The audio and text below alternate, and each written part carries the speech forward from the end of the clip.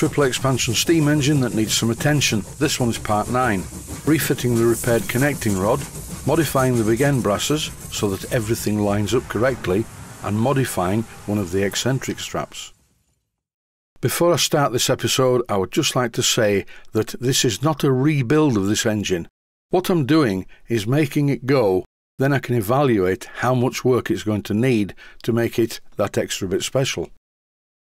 When I looked at the positions of the bolt holes at the bottom part of the connecting rod, I was a bit concerned that when I put the engine back together, the crosshead would not be in full alignment with the big end and in this clip before I go any further I'm replacing the crosshead pin.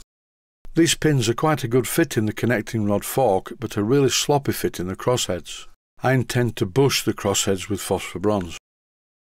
I'm going to make this part ultra simplistic to avoid people writing in and asking me questions. The two arrows show where the crank pin is, and as you can see, the connecting rod is sitting midway between the two crank webs. This is a good thing it means I can drill the holes in the middle of the mounting at the bottom of the connecting rod, then rebolt the connecting rod to the big end brasses, and here they are, with the holes drilled all over the place.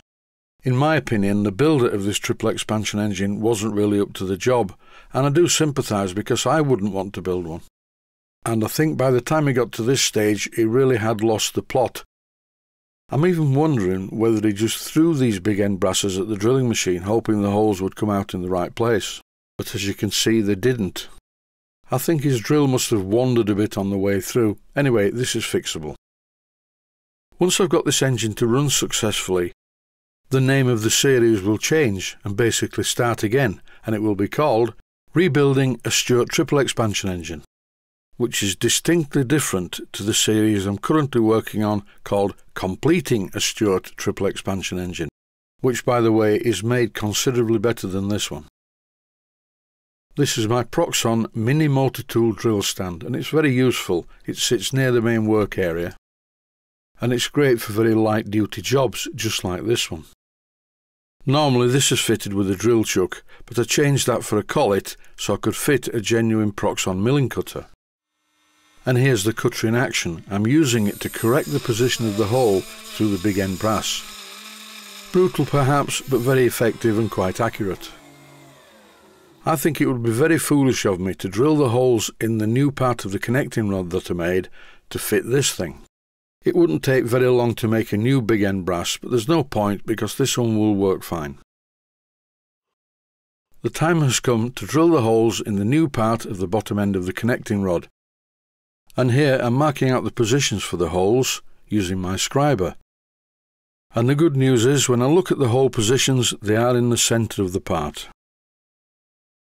This small Proxxon drill vise is quite useful because it has a slot in the middle which is great for holding vertical components. As you can see though, I have the small machine vise clamped into the larger machine vise on my drilling machine. First of all, using a centre drill, to get the hole in the right position, I follow it through with a twist drill. Then I simply repeat the process to drill the hole in the other side. Always starting with the centre drill so it doesn't wander about.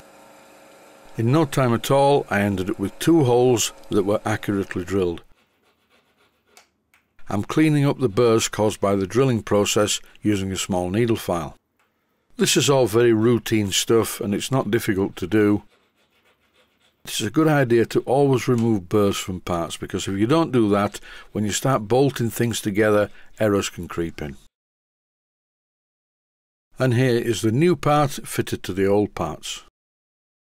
It's time now, I think, for a bit of reassembly. This was a very fiddly job.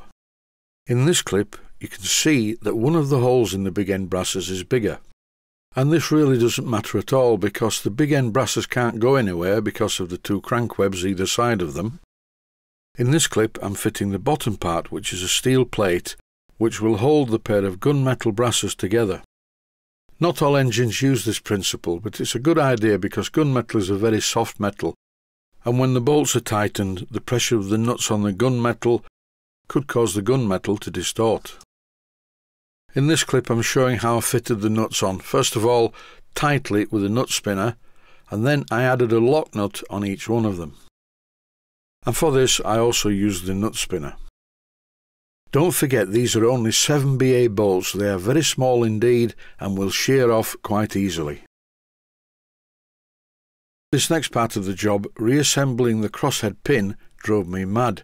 Try as I might, by using hand tools I could not get the nut to engage on the thread of the pin. And thanks to either evolution or some supreme being, the design of my fingers is far better than hand tools. I held the nut at the left hand side in the pair of pliers and rotated the pin with my finger, and in no time at all it engaged. Then I used a spanner at the left hand side and a pair of pliers at the right hand side. I wouldn't normally do the job like this, but the pin was already marked, so it seemed a waste of time cutting and using a piece of brass strip to stop me marking it.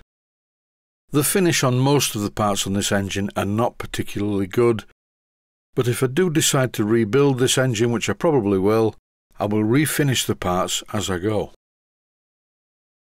Some parts of the construction of this engine are a little bit strange.